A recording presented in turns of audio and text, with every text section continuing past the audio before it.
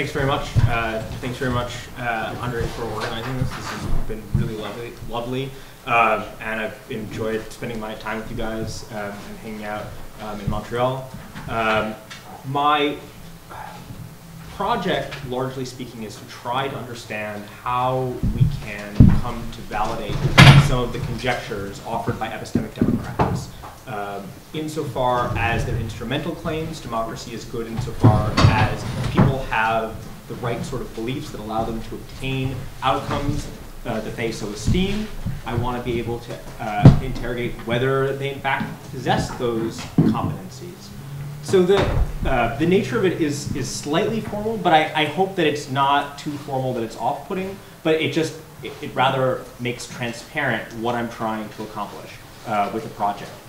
So there are, there's a standing objection in the literature to the epistemic uh, democratic program, which asks how we can aggregate problem, we can aggregate our problems in uh, political science when we're really dealing with values rather than facts. That is, people disagree on fundamental issues, and there's just no way of actually considering that they're that when we aggregate in, in some kind of voting mechanism, uh, whether it's through procedures like, or it, through mechanisms like the Condorcet jury theorem or the miracle of aggregation, that in fact what, what we're really doing is tending towards the truth. We're just, we're, just counting uh, different people's values, and that's not going to possess the kind of conversion properties that we want uh, for epistemic democracy to obtain.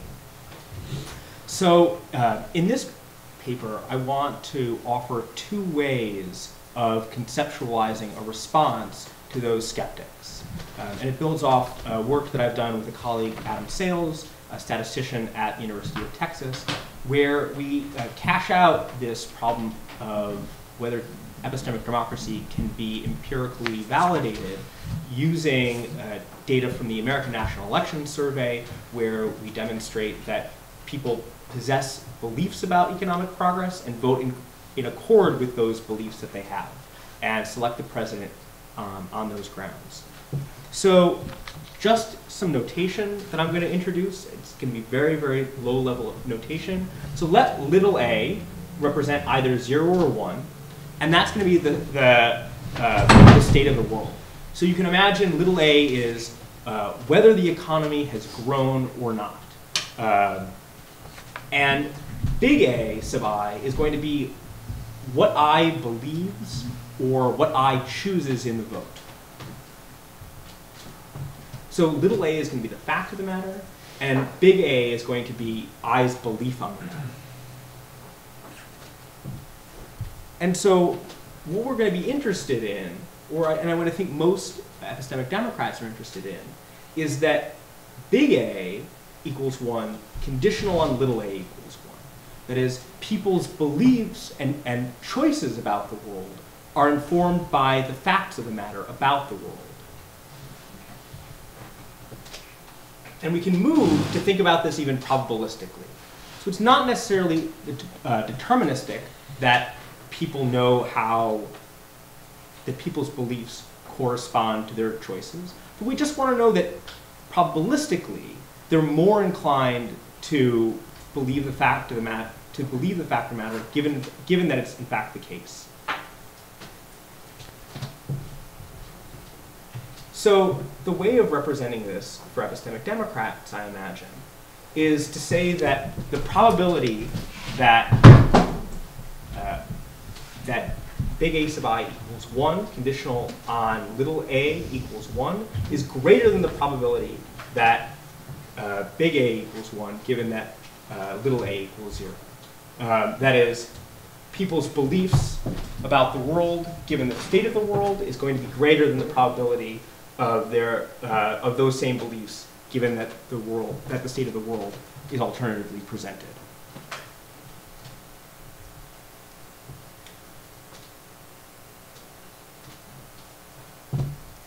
And so we can just as easily configure the problem to say that the probability of someone's choice or vote uh, corresponding to zero, given the fact that little a equals zero, um, is greater than the probability that their vote doesn't correspond to that matter. It's an error in the slide, I apologize. Um, this should be zero and this should be one. Um, so the problem, so the way that uh, I can conceptualize getting over the problem of value distinctions is that we might say, look, people might have different values about whether they think the economy should grow or not.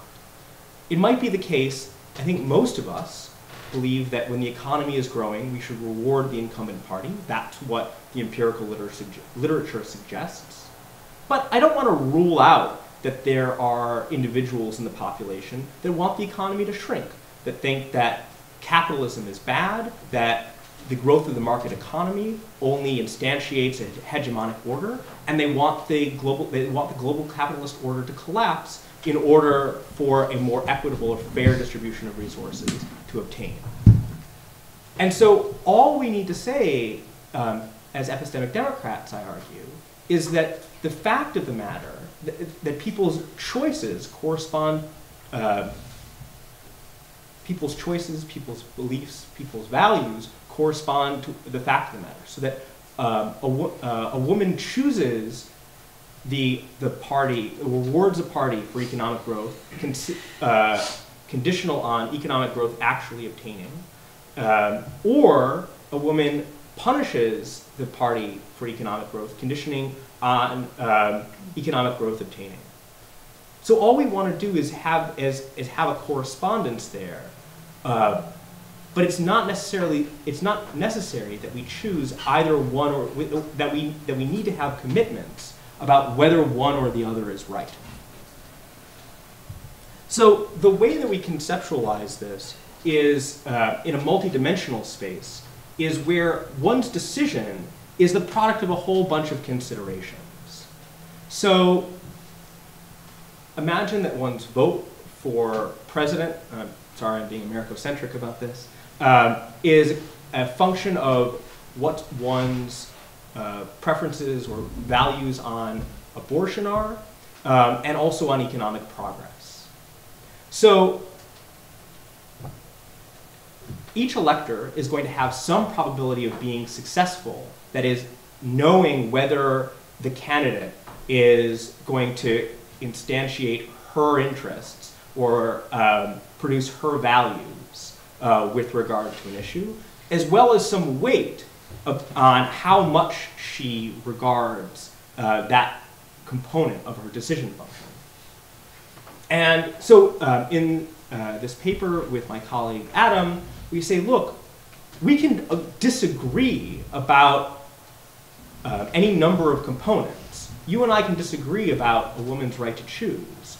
But insofar as we agree on the value of economic growth and we have the capacity to assess whether the economy is growing, the candidate that is going to be a better steward of, of economic growth is going to have her chances of being elected boosted. So this is a little bit of a bug and a feature. It indicates that the epistemic property of democratic decisions frequently isn't going to be decisive. In most political decisions that we have, there are, we have multidimensional interests, and the, uh, the number of values that we hold in common might be few, and so it's not going to be the case that our epistemic capacity is going to necessarily produce the right outcome. However, um, it's going to tend the ele- it's going to tend the election to go in the right direction. Right? And I think against the skeptical position, we argue, well, you certainly want it, wouldn't want it the other way around. That would be terrible. That conditional on it being the case that candidate A is better in the relevant dimension, that her probability of being elected becomes lower. That produces unwanted, unwanted outcomes, and would be a terrible result for epistemic democracy and uh, democratic theory in general. So we say no, it just matters what the virtue of epistemic democracy in this case is that on the relevant dimension, the candidate has her chances of elected, of, of election being enhanced, conditional on her, in fact, being more apt to, to instantiate these values or obtain the outcomes that the elector so chooses. And so the matrix looks something like this. Um, there are accurate preference, there are accurate correspondences between one's vote or choice and the, the state of the world, and there are inaccurate uh, correspondences, and uh, there are cases in which the voter deems A to be superior to not A. And there are cases in which the voter deems not A to be superior in A. And so I think that we can bracket a lot of skepticism on the, the fact value distinction in epistemic democracy by just asking whether the voter is apt to get things right from where she stands. And we can be agnostic um, on whether the values that she holds is, are right or wrong. Um, and nicely, this works for the majoritarian case, um, for the, like for the majority group or the minority group. If a majority of the electors prefer that the that the economy grows and that the candidate that's a better steward of economic growth get elected, then her chances that the candidate's chances of being elected are enhanced. Um, but the minority will also be able to have a pull on the election in their desired direction. So while the aggregate push, well, it, it depends actually on the weights of the decision functions. Um, but in aggregate, it might be the case that the majority carries the day, and the majority is more has greater sway on the election's outcome in the relevant dimension. The minority still has, with their disparate beliefs, conditional on them being minimally competent electors, still has the capacity to sway the election's outcome, which is, I think, nice for uh, a nice kind of bone to throw to proceduralists on the matter. So that's the, the first uh, kind of notation and result that I want to argue for, that I think can allay worries about the fact value distinction. But all we need to say is that the probability of accuracy of any voter, conditional on their votes, is greater than the probability of there being inac inaccuracy. And we don't need to get into a fracas about which one is actually right, which I think is going to be hard to disentangle. The second part of my paper um, is relatively uh, straightforward, but I think it just produces some really nice results that I haven't seen before. If they've been presented elsewhere, please just let me know. Um, but I think these are really uh, elegant recommendations for the epistemic property of democracy. So let's imagine that um, voters have access to the truth um, around some distribution with a loss function. So the y-axis here is going to uh, mark how wrong they are, or uh, if you want to run utilitarian about it, the disutility. Um, and they're going to be drawing from a distribution with some mean and some variance. And the, the driver for the results of uh, epistemic demo uh, democracy in the case of the law of large numbers, uh, sorry, in the case of Condorcet jury theorem, or the miracle of aggregation, um, is the law of large numbers. That as the number of uh, decisions that come from an underlying distribution are aggregated, as n gets large, uh, the distribution converges on the, mean, the true mean with probability 1. A, the, the flip side of the very same argument is that as uh, as n increases, the variance decreases as a function of sigma squared over n.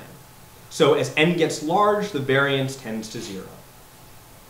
And I think that it has some really nice, elegant, and st very straightforward epistemic properties as well. So we can imagine that initially the distribution looks something like this, where the elector is apt uh, to, uh, to converge on the mean, that is that they're unbiased, um, but there's some variance there. All we need to do is say that the variance shrinks as the number of electors becomes large. And now the risk that the elector is off, the, the electorate is off, is reduced.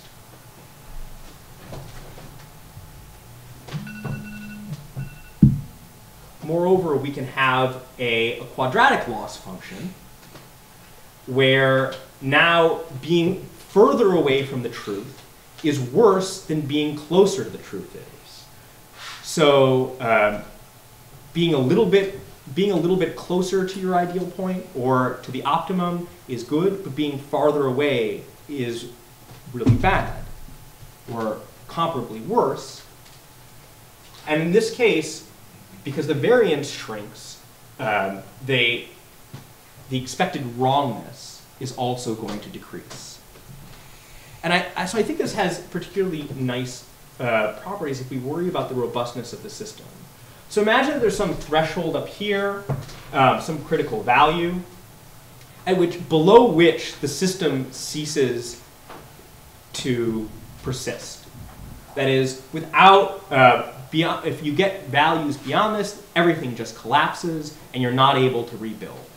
Um, or uh, organisms work like this fairly uh, fairly frequently, where if you have uh, too much diversity, it can lead to the collapse of the system, and that's kind of what cancer is. It's a mutation, it's more diversity, um, but it is an event in the tails that can metastasize and destroy the persistence of the organism. And so we might worry as, as Democrats that our, that our outcomes are going to tend, that with some probability are going to tend to the tails. And here again, as the number of electors increases, the variance is going to decrease, and the, and the probability of getting an event or getting a decision that's going to lie in the extrema is going to decrease as well.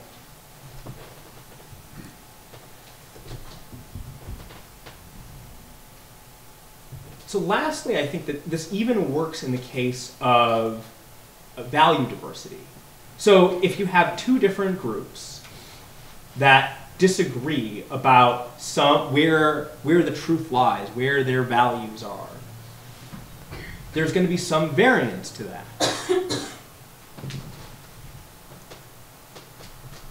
As the number of electors in each group increases, the variance is going to decrease. And again, assuming a quadratic loss function to the state of the world, uh, it's going to be the being the pro probability or the possibility of being farther away from the ideal point is going the the loss from that is going to outweigh the probability of the variance being on the other side closer. So I can illustrate that this way, where the distance between this little top bar is how much um, the orange man gains um, by or loses by the variance shrinking. But this bottom bar here is how much the, the orange man loses, probably. And the fact that this little bar, this bottom bar is larger than this top bar represents the, the loss that the orange man would, uh, the orange men would incur because of uh, the higher variance against the lower variance.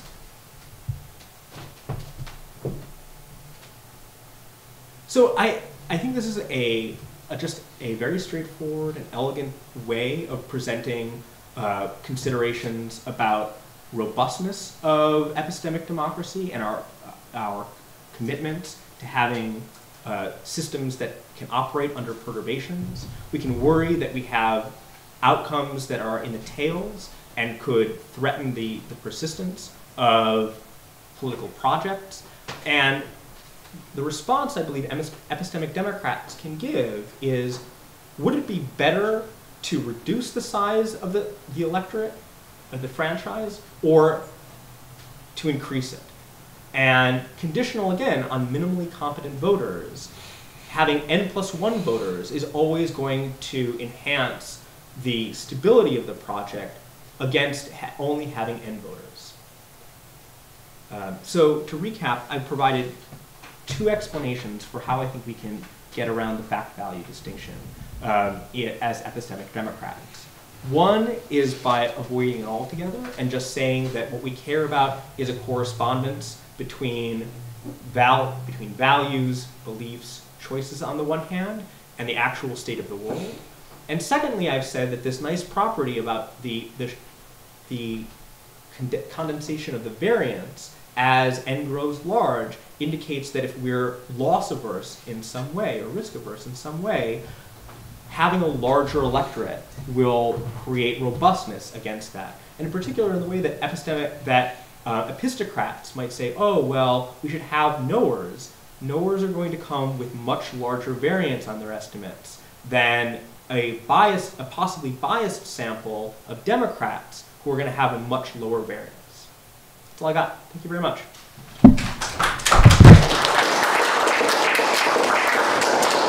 So now we'll have a discussion by Briana McGinnis, which is a postdoctoral fellow uh, within the Department of Political Science at McGill. All right, thank you. Um, so first, thank you for presenting this very interesting, more formal theory-oriented paper, and thank you for the illustration. Um, so formal theory is outside my area of expertise, so for the most part, my comments are going to focus primarily on the framing of the paper and on the implications of your analysis. Um, I'll keep my comments brief, so I have a few broader points, and then I'll get to some more specific ones. Um, so first on framing, the paper is fairly short, it's only about 12 pages, um, but the first two are devoted to a narrative about the disastrous consequences of authoritarian rule. Um, and you contrast authoritarian rule with democratic politics, arguing that the latter are, if not guaranteed to get everything right, at least are more likely to avoid catastrophic results. Um, and although this narrative thread does occasionally reappear, um, it's not really consistently part of the story, so I just wonder exactly what you're doing with it, or if that's really what you actually want to be doing with the paper. Um, so also because invoking extreme examples like the Great Leap Forward, Nazi Germany, and chattel slavery might distract more from your central, central arguments, which are fairly moderate, mm-hmm. um, than advance them, than advance it.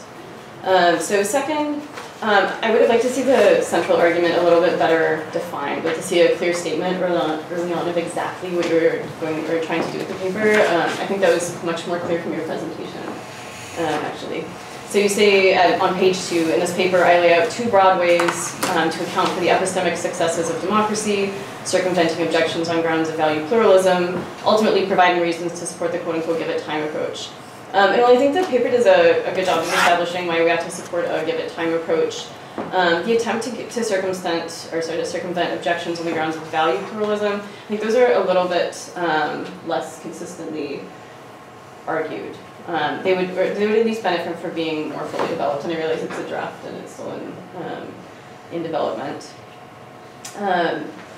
So in the various parts of section two, you canvass some of the problems that value pluralism presents to epistemic democracy, um, but I don't know that you, you ever quite get around some of the most intractable problems, um, i.e. that not all issues have obvious right or even like quote unquote better or worse outcomes.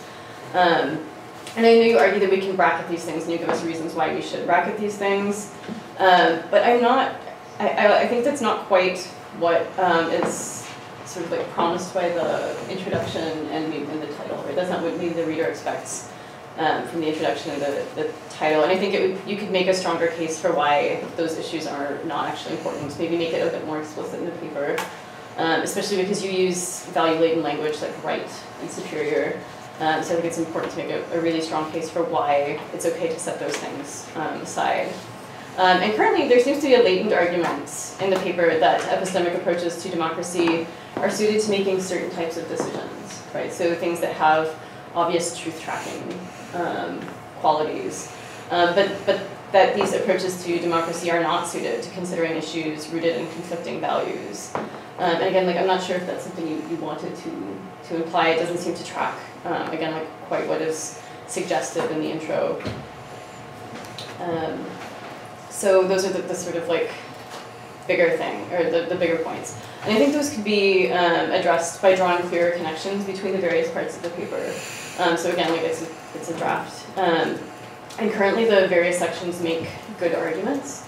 Um, but I think it'd be helpful to see more clearly how each one of those steps leads to the next step and then ultimately leads to your conclusions. Because there are points in there where I think it's, like even if you're following the arguments that you're making about probability, um, etc., it's not, it's not so easy always to follow how those things lead to the next thing. Um, so a few smaller points. Um, first, I'd like to also hear a little bit more about your account of the truth. Right? Um, I know it's a big, big question.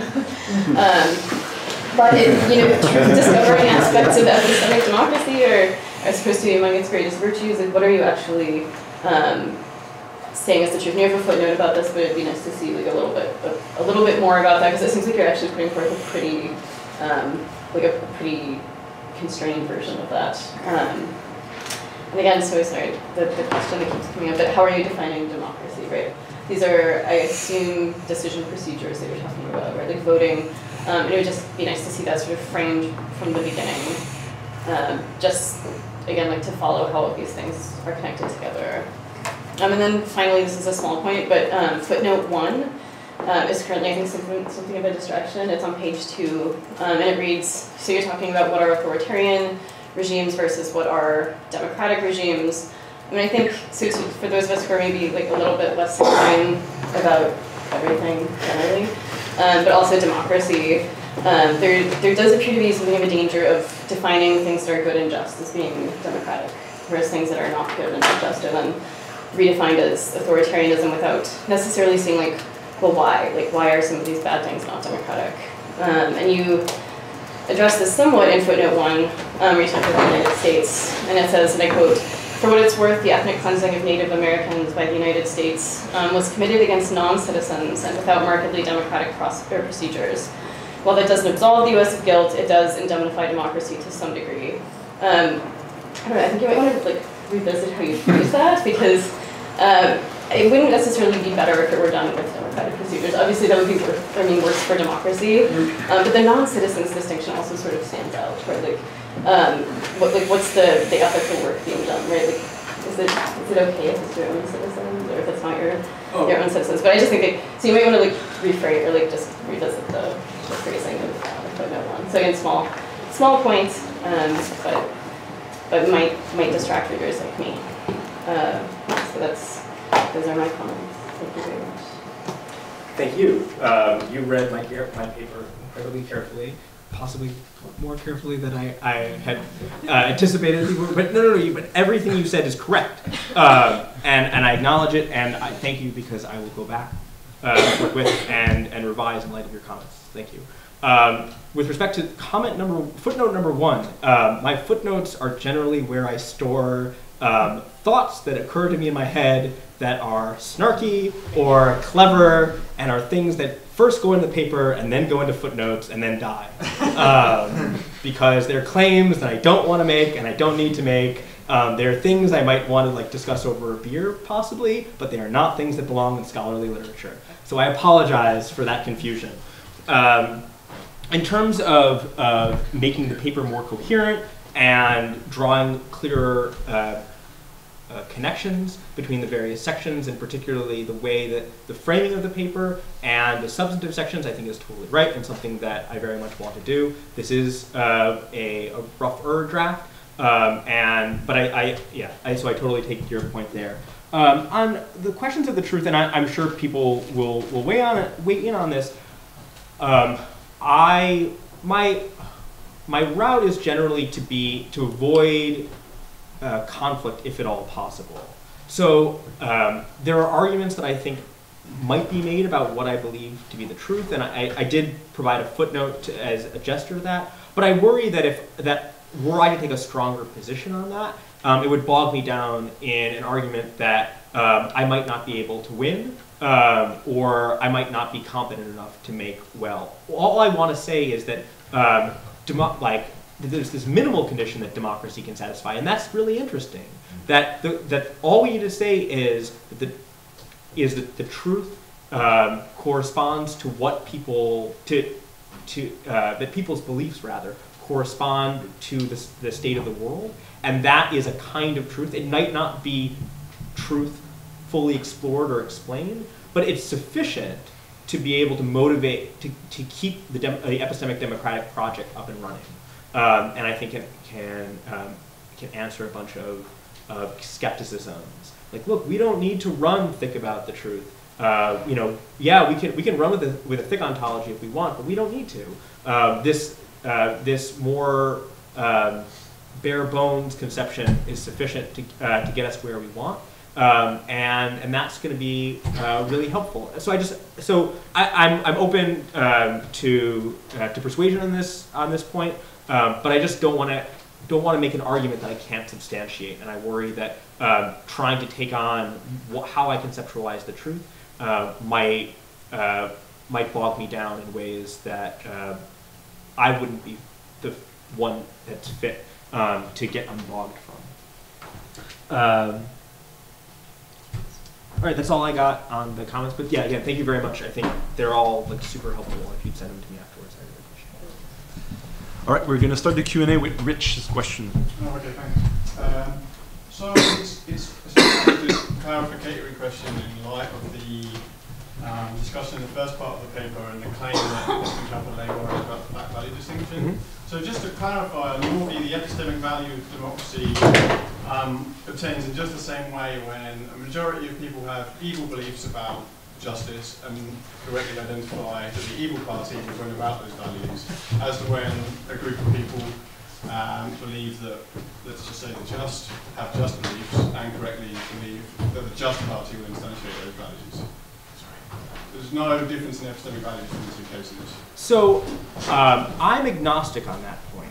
Um, I can I say all I need to say is we don't that the epistemic value of democracy. Oh wait, so okay, so I hear what you're saying there. So you're saying, well, let's say the let's say in fact the candidate has her probability of victory enhanced um, by being pernicious and evil. If you if I don't, I don't think so. No. Sorry, go on now. Maybe I'm. No, oh, so so let's say that uh, little a um, is the fact that a candidate will um, commit genocide, and big A is that I I endorse the Right. candidate that will commit genocide. Well, now epistemic democracy seem would, on my telling, seem to indicate that um, look, the virtue of epistemic democracy is that people can elect the candidate that's going to commit genocide. But that doesn't seem truth tracking at all if we think that committing genocide is against the truth. Right? It Um, just seems that on, on your picture, the epistemic value is the same in both cases. Yeah. Which Right, means right, you're right. not to be able to satisfy someone like that. oh yeah, no, no, no, no, So it's just, Um, and then it just seems like the epistemic value is so minimal that we might not think it really matters at all. When you so so I think that um, it allows the framework allows us to remain agnostic on the point um, and say here's a here's a plausible way where um, under conditions of value diversity um, there we can still think that um, epistemic democracy that epistemic democracy is good at get it, getting it right. And you might so importantly you might believe that one state of the world is the right state of the world and you might believe that voters have access to that to that state of the world um, and that when you're defining the conception of epistemic democracy you see voters and when you when you define voters as as being minimally competent part of that minimal competence is having uh, the right the right beliefs or the right values on these sorts of things. Um, and but all I'm saying is that we can. It might be the case we don't even know what those are, but we can still find evidence for the truth track the the truth tracking nature of of democracy. We can still find evidence for how it could be the case that epistemic democracy could uh, the values of epistemic democracy could pertain to a multidimensional vote like that those for U.S. president. Kevin? Great, uh, so I'm just gonna follow sort of right on on this. So it sounds like what you're talking about is responsiveness and has nothing to do with, with the truth of the matter. So insofar as what we're, what you're sort of uh, drawing attention to is, uh, the reduction of variance, uh, with the larger Mhm. number of people, the more likely that we're gonna get whatever sort of the people want. Um, what you're talking about is, is responsiveness, and responsiveness really, it does have this feature Yeah. it's completely, as you say, agnostic about Yeah. what the truth is. Um, and that seems, it seems like a very puzzling response to an objection. You, you present the paper as, as responding to Muirhead and Stitch's complaint that democracy, that epistemic democracy is, does not obtain because of disagreement. Um, and you seem to think that you're providing a response to them, but I don't really see this as much of a response to that concern, at least. Because what you seem to be saying is, well, regardless of what the truth is, um, democracy can get us responsiveness under certain kinds of fairly strong assumptions. Um, that doesn't seem, you know, if, if we think that the people are going to make the wrong decision, what you're telling me is that democracy will reliably get it wrong, right? Just the, you know, if the, if the Condorcet jury thing is less than 0.5, we're always getting the wrong you know, decision. Well, right? no, no. That, so that's not the case either. It's not right. We're not always going to get the wrong. We're not always going to get the wrong answer because it, it depends what weights um, individuals are putting on the various dimensions. And so it could be the case that the minority puts a greater weight on um on those elements of their decision function. And in fact, the minority is going to carry the day, or is going to is going to provide the the bulk of the effect along that dimension. Um, but but so I, I take your point um, that what I'm ex- expressing here is this uh, the, the correspondence between uh, people's values or preferences and what they're able to choose. Um, so I think that it is a, a an argument for the plausibility of epistemic democracy. It's a way of seeing how we might be able to, to test or observe um, the results of epistemic democracy actually working in our world. Um, but on the point of the variance, I don't see your objection about the responsiveness because there, um, part of the property is that we're getting a consistent estimator. So it, so there, I don't need to be agnostic about. Uh, so I guess so my, my point about responsiveness is that you seem to be saying that democracy can deliver what people want. Is that correct? That is to say that by reducing the variance, it more reliably gets what we want. that yeah, that people have the, act, the ability to obtain the outcomes that they so desire. Yes. That's responsiveness. All right. So, but why is that? So, why is that? responsiveness, responsiveness is, is just entirely, Independent, uh, it's just not, Neutral, yeah. yeah, it's just orthogonal to the truth of To the the matter. truth. It's just orthogonal to whether we get the right answer. It's, it's a, it's a, it's a, it's a formal thing about the outcome of the decision procedure. But no, because if um, we're so the uh, the contrary way of framing it is to say that people don't have access to what they want. So it it, it, it doesn't pertain to the it doesn't pertain to the responsiveness of the representative to the voter. It uh, it pertains to the voter's belief um, choices against uh, and values against the, the fact of the matter. Um, and that's not that's not a matter of the responsiveness of the representative to her constituents. Um, that's just a matter of the voter being able to identify whether the pol- the policy in question or the candidate in question, in, in fact, uh, reflects her values. So we could say something like, um, in a ballot measure, we could think that there's there are there's a liter- there are two literacy programs. Um, and we want to know which literacy program, in fact, will enhance um, the, the literacy of the population. Right? We don't need to go to a representative system in order to cash out the, um, the, the usefulness of this notation. So people being able, so it might be we disagree on what the value of literacy is, but insofar as we agree on the value of literacy, we're able to choose the, the program that's going to be or the, the program that's going to better enhance literacy is going to have the probability of its selection enhanced. That doesn't, so, so I might be misunderstanding, but that doesn't sound like responsiveness to me. I want to live up. Okay. So uh, both Gloria and Arash seems to have to s- something to say on this. So Gloria I then I am sensitive to the responsiveness uh, uh, objection, and uh, well, you see, this. Uh, mm, let's make an example because I'm a simple-minded person. Yeah, no, I, Take Turkey, uh, uh, and uh, and people in Turkey they uh, they were responsive. Uh, responsive to the fact that the economy really was growing with uh, uh, Erdogan, Mhm.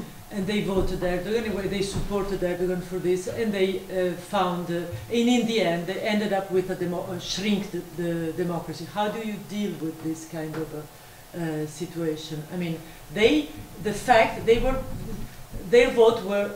I think it was responsiveness, and if it is responsiveness, uh, you can say many things. But if if I go with Mhm. you and say they were, uh, their vote were, was truth tracking because actually the, the economy really went better uh, under Erdogan.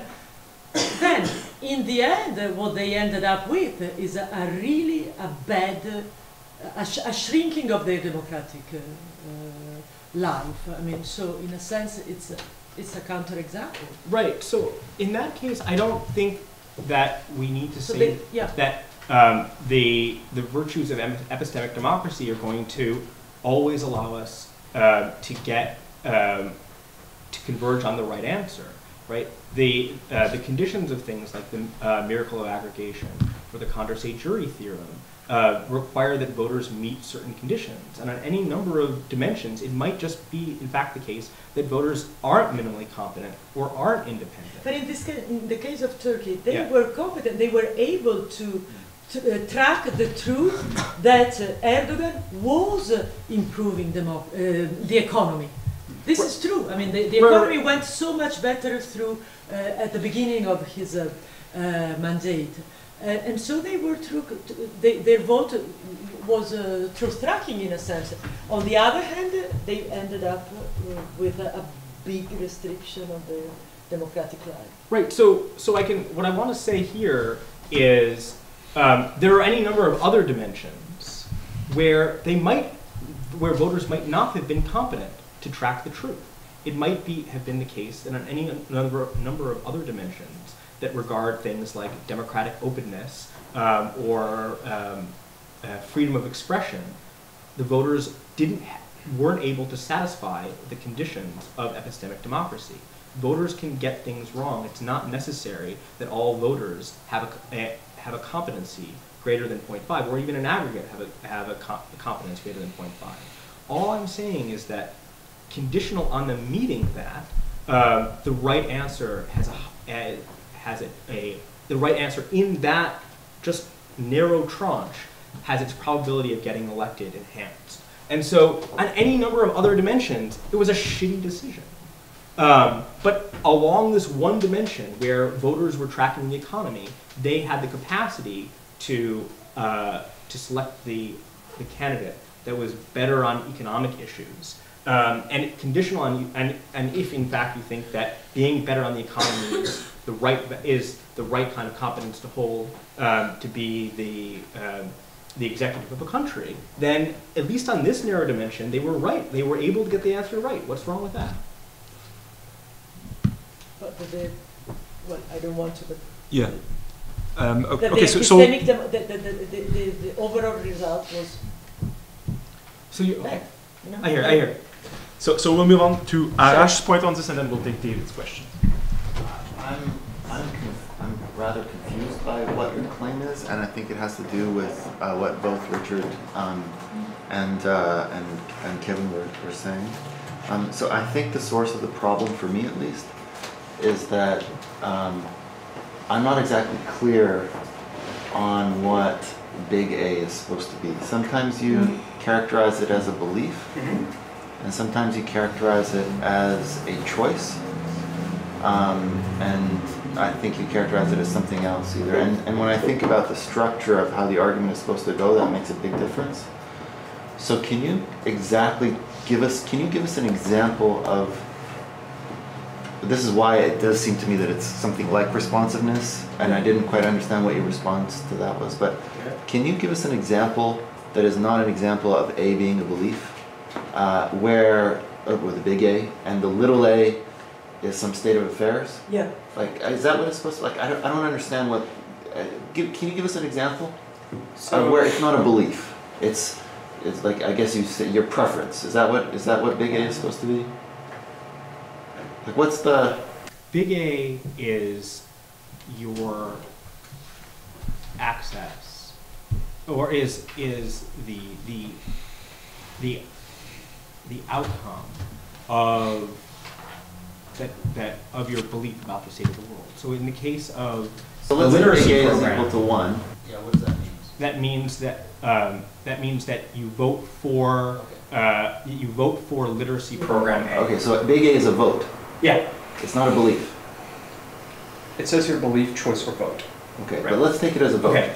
So let's go with an example of a vote. So now what is little a? Little a is is which proposal A or B will enhance literacy. So let's say in, in, in the fact of the matter, liter- literacy proposal A will lead to a literacy rate um, of 87%, and proposal B will lead to a literacy rate of, eight, of 95%. So in that case, um, literacy, the literacy program B is the one that does a better job of enhancing literacy. So that, so Sorry, what, are A and B supposed to be one and two? Or one and zero?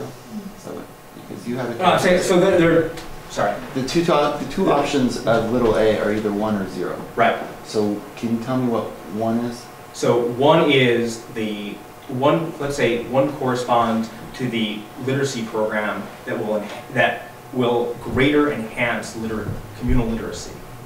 And zero corresponds to the literacy program that will less, will do a less good job of enhancing literacy. Uh, Sorry, that can't be right. It's not, they're not referring to two different literacy programs, are they? Yeah. That's the way you just put it. He's assuming like a direct Uh, democracy. So the kind of thing. compositions, literacy program L Okay, enhances and liter- Yeah. literacy program L doesn't enhance? okay, yeah. Okay, so. All right, so, okay, so, um, that one, that literacy pro, so literacy program A, um, produce it, one literacy program enhances literacy, and the, uh, and, or, sorry, let me step back. Uh, one literacy program, uh, will actually, uh, this, this, the proposed literacy program would reduce, um, the amount of literacy in, in the population. And so, a if you were to vote for it, it would actually Sorry, I just want to know what one is. one is one is that the program affects the uh, affects the the positive outcome, the outcome, the economy growing, the, the literacy the literacy enhancing, Okay, so. and zero corresponds to the economy shrinking or the, the uh, a literacy program that reduces the amount of literacy. So conditional on one, which is conditional on the program proposed by the candidate, mm-hmm. increasing literacy. If big A is equal to one, that means that I vote for. Now we want to know the probability of me voting for the program conditional on the program increasing literacy. That's what you're getting at. Yes. And so what is that? I, I don't.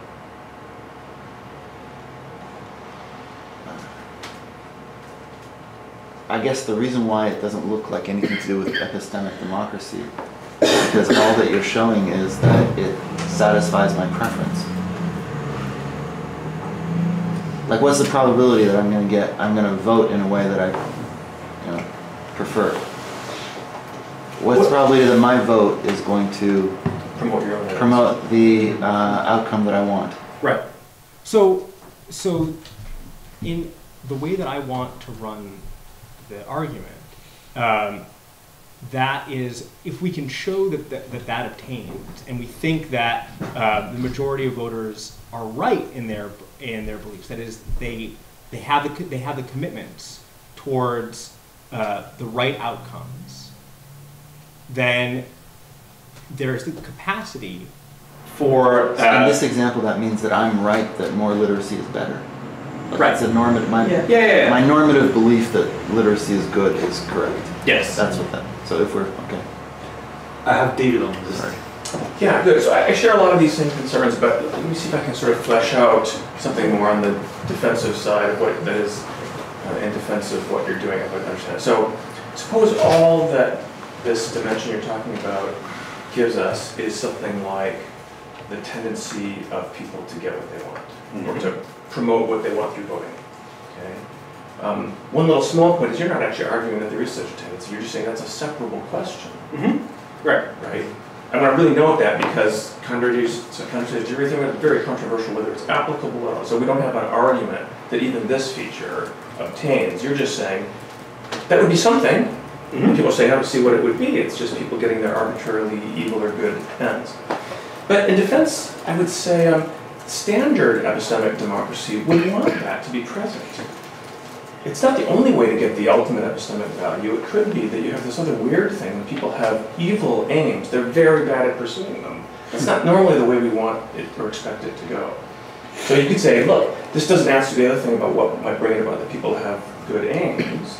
But part of the story we're going to want is that people can at least promote their aims, and then we'll work like, you know, separately. Yeah, yeah, yeah, yeah. No, that, that, So- yeah, that's, that's. So a- a that's of it. separable question, Right. we've got that minimal feature that all epistemic Democrats do count on. Yeah, yeah, that's, that's, that's what I, I hope this notation, uh, might allow us to, to articulate and resolve. Hey, so one other little thing then, since that went very well, um, it was fairly quick. Um, yeah, I- it'd be good to step back and see what, what motivates your skepticism or your wantingness to, what, what, your desire to separate yourself from whether there's any validity to value claims. Hmm. Like, why? Do- I mean, presumably you have value commitments, do you think they're not correct? Do you think other people aren't?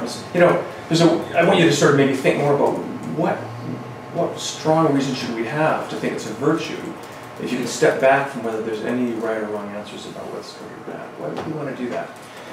And then whatever your answer is, if you do want to do that, then why would we care if people can promote their aims? Do you want to say that's good, or just expressing your emotions when you say that? Right? Presumably you're recommending something as a part of a recommendable social scheme, but you can't do that same time you think there's just no such thing as recommendable. Uh, yeah, so thank you very much for that. And I, yeah, you said uh, you said what I was I was hoping to say uh, more clearly. Um, that it's it that this feature, the separability of this feature, um, is something that, that all epistemic de- Democrats would uh, would take for granted, and it's not going to be the the full blown project um, that others are going to, to be able to construct. Um, but it's at least a narrow tranche of of that uh, claim, um, giving us some tr- like tractability on this problem. Um, I guess I want to be able to say that um, there are legitimate cases of value pluralism. And you and I can. This is very teeny. Can I ask about what you mean by pluralism? It's notoriously ambiguous Yeah. in literature. Sometimes it means a metaphysical view that there are there's no commensurability among values, mm-hmm. and I think you mean something value diversity, but that's not any source of skepticism all by itself. People disagree about things evaluatively. That's true. If you use the word pluralism, you might seem to be smuggling in something more metaphysically problematic about value, which I don't think you mean. Is that right? People disagree about things evaluatively. That's true. Right, right. Um, okay, so I, yeah, uh, I hear. I'm, I'm happy to to resign to uh, to diversity, uh, but then right there are these weights that we can disagree on, and it seems to be to me to be reasonable um, to just for you and I to disagree to uh, to disagree on how much weight to put on environmental values versus how much weight to put on economic success. Um, and so it's going to be hard for me to say that uh, we came to the right answer, given That's that. the crucial step. Why, how do we get from it's reasonable to disagree about X, that nobody can say there's a right answer about X? Both of the parties think there is. They can't disagree unless they think there's a right answer. But, you know, that's a little too. So, be, so I, I- so, but this might be a problem uh, for political aggregation that individual actors um, have some sense about what's good for them, but what's good for the whole. What they in their vote they might not be uh, considering what is good for the whole. Uh, that is so that so I can represent my interests in the environment, and that from where I stand. Uh, uh, resistance to uh, uh, cl- climate change regulation is very important, and I'm going to put a very high weight to it. Whereas you might think that the horse is already out of the barn, and there are that there are human suffering issues to alleviate. Uh, that seems like a, a reasonable disagreement that we can have, and that even though uh, we value those things differently in, in our own decision functions when we come to vote, um, the aggregate uh, th- those things are going to, to mess up the aggregateness of the right or wrong of, of the outcome of the vote. I just don't get the last step. A reasonable disagreement about whether the environment is still an important issue given where we are now, and both parties think there's a right answer to this. And you seem to think, I don't, you seem to be saying we shouldn't think there's a right answer to this. Or we should treat it as if there's no right answer to this. And just to know what basis there is for stepping back from thinking, as the parties do, there's a right answer about this, even though it's, there's reasonable disagreement about it. All right. Yeah. So I'll stop there. Okay, thank you. Jens. Yeah, I have just one tiny friendly suggestion and, and then a question. The suggestion is just maybe you should make it clear that in your credences, the P's, that, that there are no, you don't have credences over oughts, for example, because many people want to model um, or ac access to objective values by, by way of ought beliefs. I believe environmental issues Yeah. ought to be pursued or valuable and so on. So just to, to get this clear separation that we want between um, the descriptive stuff in the P's and the normative stuff in the W's. The, the other question that I'm very much interested is in um, why you think that people's beliefs are more responsive than 0.5 to truth. I should say responsive, right? The issue here about being accurate or, or responding to the truths out there. Um, usually, so I come from a background in, uh, right now in uh, about questions of rationality, and there are a lot of people who, who have argued that rationality is worthwhile because um, of evolutionary considerations, for example. So we, we, we our, our beliefs get at the truth because um, we're because of selection arguments internal biology and so on. But these people also usually point out that these selection pre pressures are very domain specific. So your beliefs about a car approaching and you want to cross the street, that's that's something that had better be accurate and responsive and so on. But it's not so clear what selection pressures there are for our political beliefs or beliefs about complex societal issues to be to be right. Maybe you want to say something about why there would even there's reason even to think that there's a, a tiny um, amount better than 0.5 that, that we need to get this Condorcet jury. Uh, well, so that sounds like uh, a, a question of empirics to me, right? Whether it is in fact the case that on any of these dimensions, uh, voters are satisfied the, the conditions of minimal competence. Um, and so, right, um, were quantum mechanics to be germane to an election, it might very well be the case that people didn't have minimal competence. Um, but um, in what we explore, the economic literature, people do seem to have access to um, GDP growth um, or the, uh, the, the rate of uh, annual growth, annual change in uh, real disposable income. Um, and so when, it is a fact where people can look around them, they can see how they and them, their friends are doing, whether people are making purchases, uh, are saving more, they, they have epistemic access to these facts. Um, and they seem to be able to do a better than um, average job of assessing whether the economy is growing or not.